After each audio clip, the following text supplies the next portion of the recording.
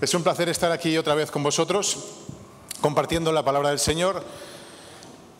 Pero si algo hay sobre todo en estas fechas, coincidiréis conmigo en que son reflexiones. ¿sí? Normalmente solemos reflexionar a final de año, a principio de año, qué ha sido el año nuestro, qué ha pasado en lo que llevamos de año, qué ha ocurrido. Y empezamos a darle vueltas a las cosas de los propósitos que hicimos a principio de año y los propósitos que se han cumplido. Yo creo que es este, ahora estará mejor.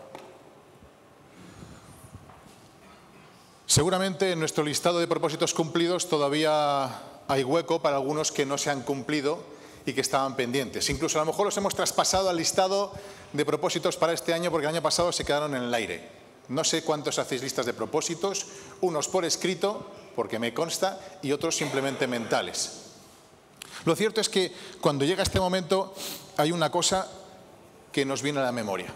No quiero ponerme triste, pero hay una cosa que es cierta. Y es que hay muchas personas que no han pasado la Navidad con nosotros porque ya no están entre nosotros. Haciendo recapitulación de todo eso, por lo menos en mi listado de personas a las que amo, a las que han impactado de alguna forma mi corazón, yo he apuntado, por ejemplo, a un primo mío al que le falló el corazón, a un tío también le falló el corazón, a José Catalán, que es el Yayu, papá de Carlos, también fue un fallo corazón, fallo médico, a David Durán, nuestro hermano y amigo, compañero, al que también le falló el corazón, a Elena Carrera también, a la que también le falló el corazón, a Pablo Gascón, tuvimos la eh, tristeza de estar eh, la semana pasada despidiéndole en su entierro, hijo del pastor Gascón, falleció también de un cáncer, al pastor Folkenberg, que también fue mi mentor y el que me lanzó en el evangelismo, que también eh, falleció justamente el pasado día 24, y un sinfín de personas, estoy convencido que todos tenemos distintas personas, estoy convencido que de una forma u otra ya no están con nosotros, ya sean amigos, vecinos, familiares, gente cercana o lejana. Seguramente, haciendo recapitulación de lo que ha sido este año, algunos ya no están entre nosotros. No es cuestión de ponerse triste, es cuestión de hacer un listado. Porque quizá una de las preguntas clásicas que vendrían ahora, si hacemos una autorreflexión personal, sería, ¿y quién no estará en la próxima Navidad entre nosotros? Quizás es bueno empezar a mirar por encima para ver si alguno de nosotros, de los que hoy estamos, no estaremos en la próxima Navidad. No es cuestión de ponerse triste, ni taciturno, ni lúgubre, para nada, este no es el objetivo pero sí reflexionar sobre la futilidad de las cosas en las que a veces depositamos nuestra confianza en contraposición con las personas a las que deberíamos amar con toda nuestra pasión. Peor que hoy están y mañana pueden no estar. No sé si en el momento ha sido tu caso el haber podido tristemente despedir a alguien sin haberle dicho cuánto le amabas, o cuánto ha importado en tu vida, o cuántas cosas ha hecho sin que él lo supiera. Quizá es el momento, este año, de pensar, ¿por qué no? ¿Por qué no decir a aquellas personas que me acompañan en la iglesia, que son mis hermanos? A veces no son amigos personales porque es una iglesia grande y tiene grandes colectivos, se hacen muchas veces grupos. Pero ¿por qué no, entre todos hoy, abrazarnos, decirnos que es una alegría el poder compartir su compañía, el poder decir que hemos comenzado un nuevo año, Dios nos ha acompañado el año anterior y estamos hoy aquí, presentes. Porque ¿acaso alguien sabe cuándo llegará su hora?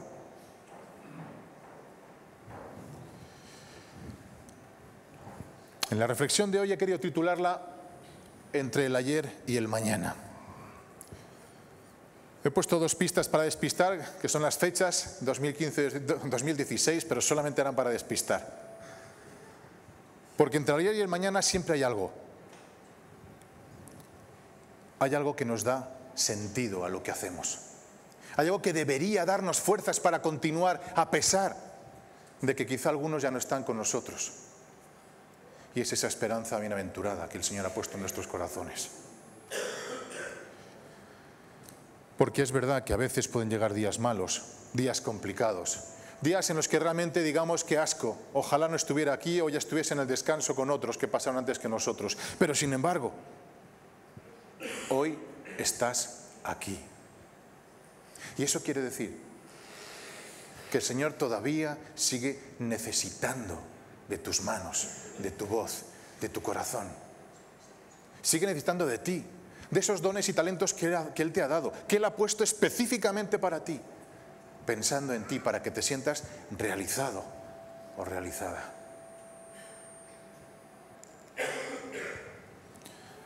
Pero lo que todos tenemos, desde luego, es un juez implacable. Da igual si somos ricos, da igual si somos pobres, da igual si somos de cualquier religión, da igual si somos de cualquier color, de cualquier etnia, da igual. Da igual exactamente si estás enfermo, si estás sano, da exactamente igual. Porque lo que todos tenemos es el mismo tiempo. Y ahora dirás, sí, pero algunos fallecen antes que otros. Sí, sí, yo no me hablo de ese tiempo. Solo Dios conoce cuál es el tiempo que realmente tenemos cada uno sobre la tierra. Solo Él conoce el momento en el que nos llamará al descanso. Pero entre el ayer y el mañana tenemos el hoy. Para aprender a confiar, algo imprescindible para aprender a llevarnos de su mano, algo imprescindible para conseguir que nuestra vida sea una vida de éxito, una vida de paz, una vida de sosiego, a pesar de que en este mundo tendréis aflicción. No lo olvidemos, esto no es el paraíso. Es un mundo que trae sufrimientos, que trae dolor. Pero en medio de todas las espinas Todavía se puede ver la mano del Creador en esas rosas, desprendiendo su aroma, su fragancia.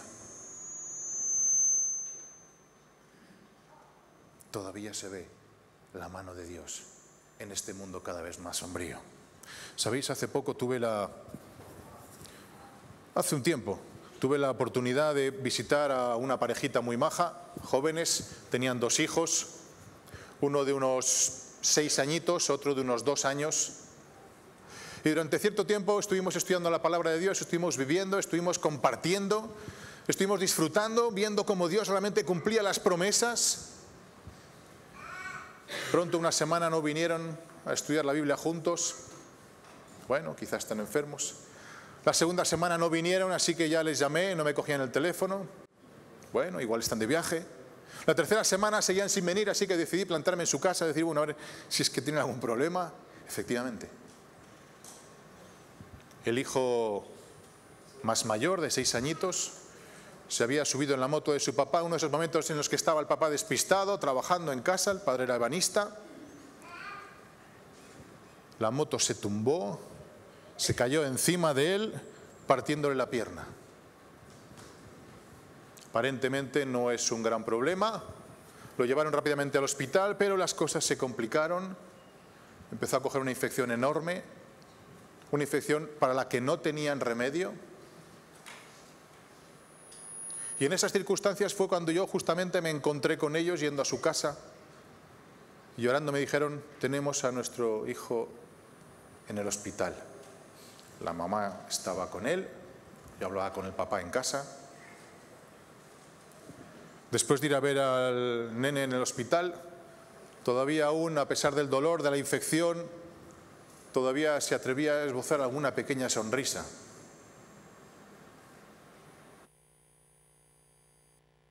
que habíamos compartido juntos.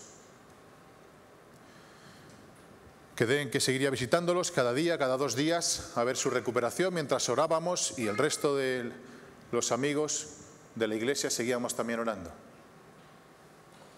Una noche soñó el teléfono. Mi hijo está peor. Dije, no se preocupe, vamos a orar esta misma noche, vamos a hacer una reunión de oración, vamos a estar todos juntos orando para que el Señor, si es su voluntad, cure a tu bebé, ya que los médicos no consiguen parar esa, esa terrible eh, infección que estaba afectándole ya a partes importantes del organismo. A la mañana siguiente decidí ir a visitarles directamente al hospital para justamente encontrarme con que se lo estaban llevando en una ambulancia al hospital central más lejos,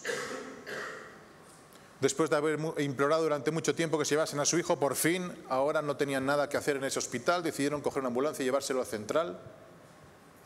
Y por el camino, Junior murió. Ese pequeño niñito de seis años, que era la alegría de sus padres, que daba botes cada vez que entrábamos en casa, que intentaba llevar alguna, siempre algún recortable, alguna figurita de Jesús para que pintase mientras estudiábamos la Biblia había fallecido, fruto de una infección por una rotura de pierna. Os podéis imaginar el desconsuelo de los padres. Ellos decían, un padre no debe sobrevivir a sus hijos. La madre se aferraba a su hijo pequeño mientras decía entre lágrimas, ahora solo me queda uno. Ahora solo me queda uno. Esa escena se quedó grabada en mi retina. Esa escena impactó fuertemente en mi corazón. ¿Dónde está el Señor a veces cuando no entendemos ciertos sucesos que nos pasan en la vida? Ciertas cosas drásticas, lamentables, dolorosas, que ojalá nunca sucedieran. ¿No habíamos estado acaso orando?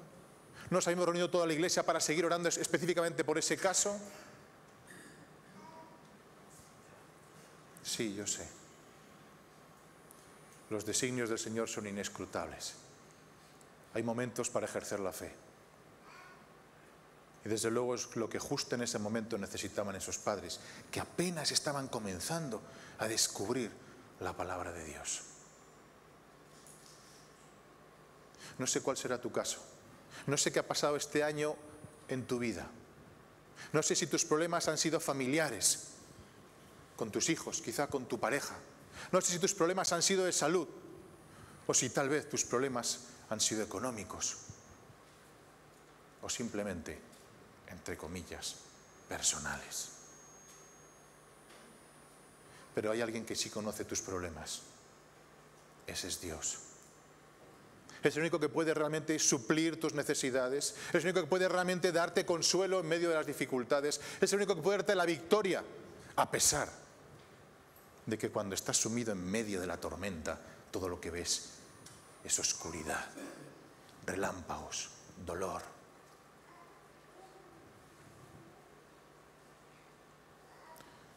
Acuérdate de tu Creador en los días en los que tienes fuerza antes de que lleguen los malos tiempos o te aflija la vejez y tengas que decir, quizá desperdicié mi vida.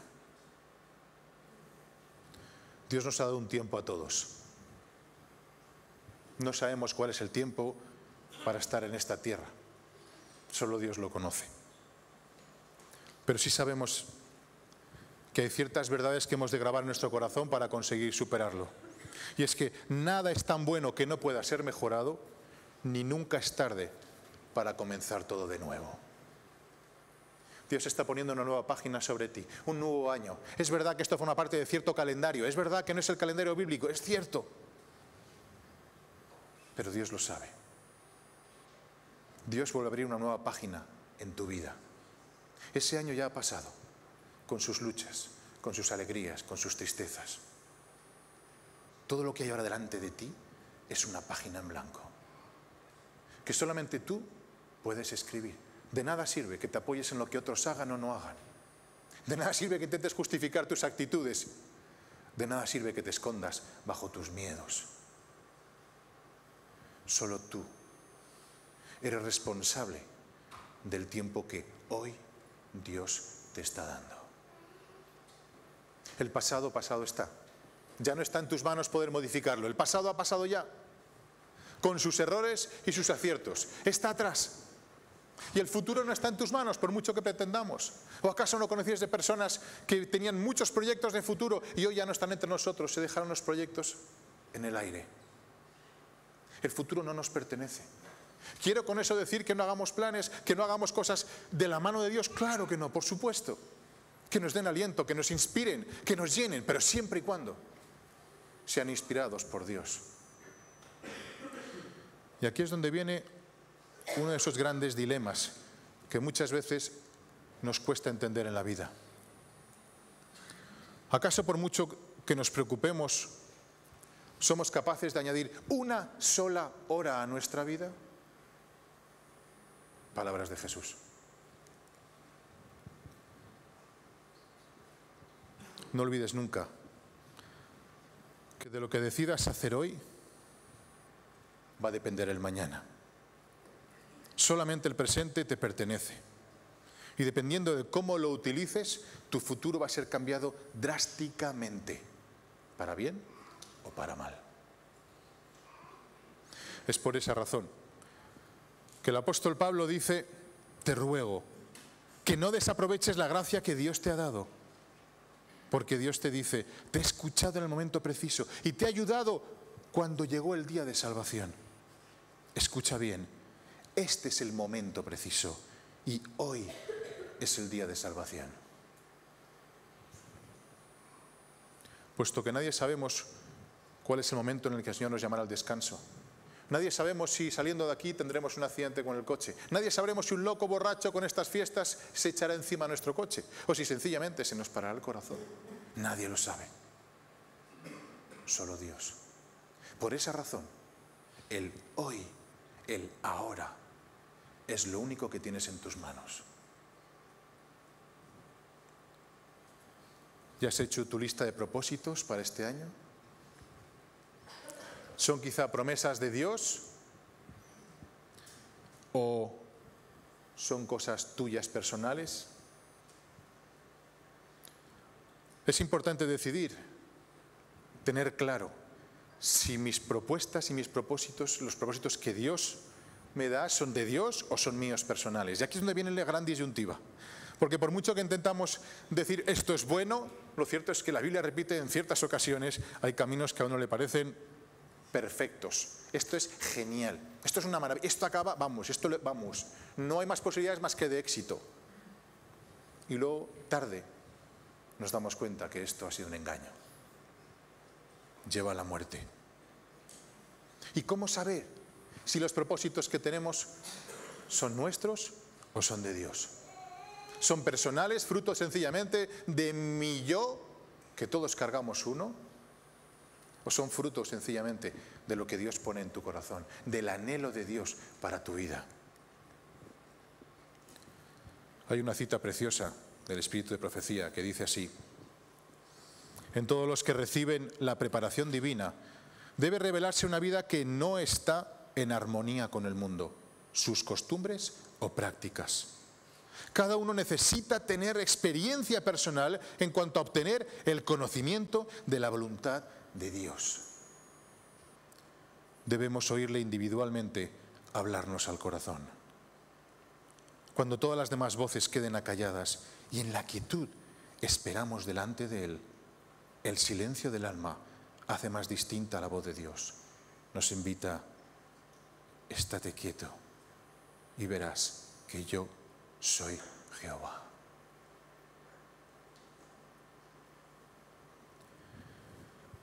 Necesitamos tener esa experiencia personal.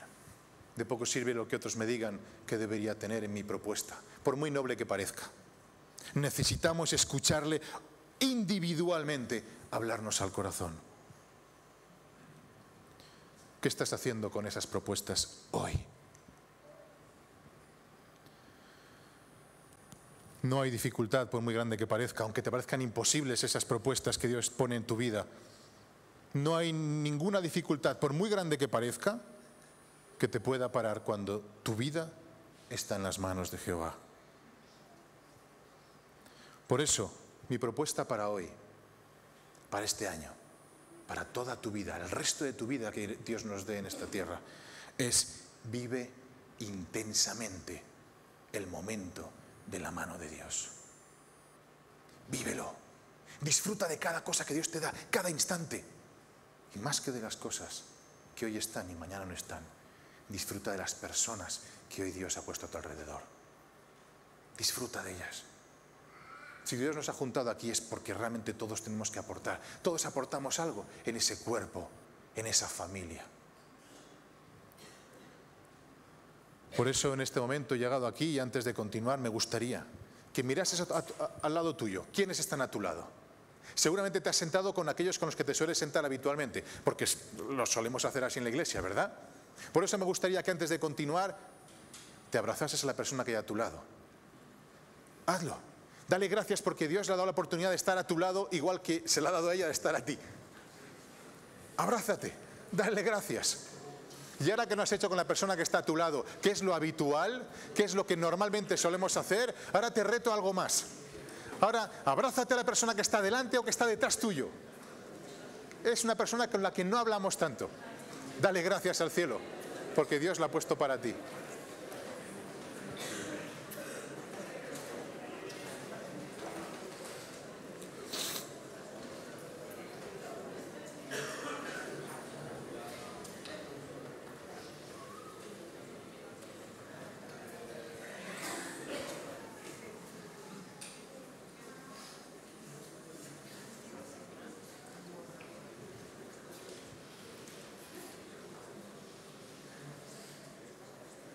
Sois una bendición. Todos y cada uno de vosotros sois una bendición aportando nuestro granito de arena. ¿Quién sabe si alguna de las personas a las que tú has abrazado esta mañana y has besado no estará con nosotros la próxima Navidad? ¿Quién lo sabe? Disfrútala intensamente. Disfruta de cada momento. Es lo que Dios te está diciendo. El pasado pasado está. El futuro no te pertenece, solo está en manos de Dios. Hoy disfruta, comparte, Sonríe. Mira las bendiciones que Dios te ha dado en lugar de mirar lo que todavía no tienes, lo que aún no has logrado. Fíjate la cita preciosa del Espíritu de Profecía cuando dice, en toda dificultad Jesús tiene un camino preparado para traer alivio. Nuestro Padre Celestial tiene para proveernos de lo que necesitamos mil maneras de las cuales no tenemos ni idea. Los que aceptan el principio de dar el servicio y la honra de Dios al lugar supremo, verán desvanecerse las perplejidades y percibirán una clara senda delante de sus pies. Qué bonito, Señor. Qué bonito. ¿Nos gustaría que en este nuevo año el Señor pusiera una clara senda delante de vuestros pies? Que os dijese en todo momento, este es el camino, anda por él. No te desvíes ni a la izquierda ni a la derecha, este es el camino, esta es tu senda. Para conseguir que eso sea una gran realidad en tu vida, Solo hay una cosa, una, que puedes hacer. Solo una. Cada mañana cuando te levantes, póstrate ante el trono de tu Creador. Dale gracias porque te ha conservado la vida durante la noche. Dale gracias porque te ha vuelto a despertar. Dale gracias porque estás ahí todavía, porque Él sigue contando contigo, porque aún no te lleva al descanso, porque aún tienes una misión que hacer. Dale gracias. Pon tu vida en sus manos. Conságrate a Él. Pídele que te salve de ti mismo, de tus miedos, de tus preocupaciones, de tus luchas, de tu yo. Y que su espíritu cree en ti y ponga en tu corazón tanto el querer como el hacer conforme a su buena voluntad en ese día. Cuando llegue mediodía, mira al cielo verás a tu padre sonriendo. Lleva ya mediodía. Ánimo, juntos podemos vencer hoy. Y cuando llegues a casa por la noche, no esperes a estar agotado, sin fuerzas, medio dormido. No. Antes de eso, acércate de nuevo a tu rincón secreto, donde nadie te moleste. Y sé capaz de acercarte de nuevo ante tu padre y decirle, gracias papá, un día más en tu presencia un día menos para abrazarte en el reino de los cielos. Es la única cosa que podemos hacer, una sola cosa, buscar a Dios con todo nuestro corazón, con toda nuestra alma, con todas nuestras fuerzas, cada día que Dios nos regale. ¿Os parece un buen propósito este? ¿Os parece un propósito noble como para incluirlo en vuestras listas de propósitos? Yo os propongo incluso que lo pongáis el primero de vuestra lista de propósitos, para que el resto encaje en la posición que Dios quiera darle. Y para que esto no quede solamente en una teoría, me gustaría justamente que mientras escuchamos la música, tuviésemos la oportunidad del hoy y ahora poner en práctica todo esto que hemos escuchado. Hoy y ahora. Acercarnos hasta el trono de nuestro Creador y decirle, aquí estoy papá. Paso un año más, un año menos para estar en tu presencia en casa. Pongo mi vida en tus manos. Que este año sea un año de bendiciones, pero por encima de todo, que sea un año de intimidad contigo. Si os parece bien, os animo a que, tal como estamos, inclinemos nuestros rostros y mientras suena la música que van a ponernos en cabina, estemos en silencio, hablando, disfrutando del hoy y ahora que Dios nos regala.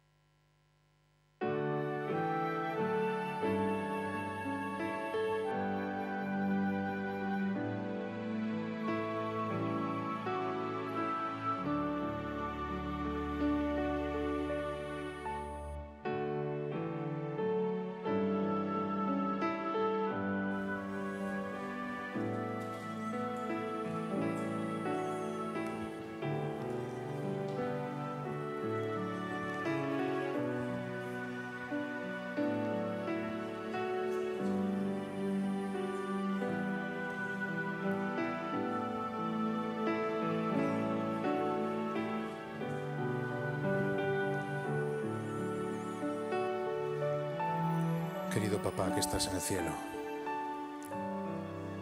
queremos darte gracias por un nuevo año. Gracias por las posibilidades que vuelves a poner delante de nosotros, a pesar de nuestras torpezas, de nuestras luchas, de nuestras caídas. Gracias porque sigues a nuestro lado, apostando por nosotros. Gracias porque sigues dándonos aliento, fuerzas pones en nuestro corazón, Señor, tus propósitos. Queremos servirte y queremos hacerlo con integridad. Pero tú nos conoces, Señor. Somos volubles, inestables. No queremos que el propósito de hoy se convierta mañana en humo. Por eso te rogamos, Señor, en esta mañana, que tú nos despiertes cada día que atraigas nuestro corazón hasta ti, nuestra mente, que abras nuestros ojos, Señor, para ver tu poder obrando en nuestras vidas y en las vidas de los que nos rodean. Que tú nos llenes, Señor, de tu dulce paz prometida, guíes nuestros pasos y nos des la victoria cada día hasta que pronto vayamos a buscarte. No tardes, Señor. Te esperamos. Cumple tu propósito en la vida de todos y cada uno de los que estamos aquí. Te lo rogamos en el nombre de tu Hijo Jesús. Amén.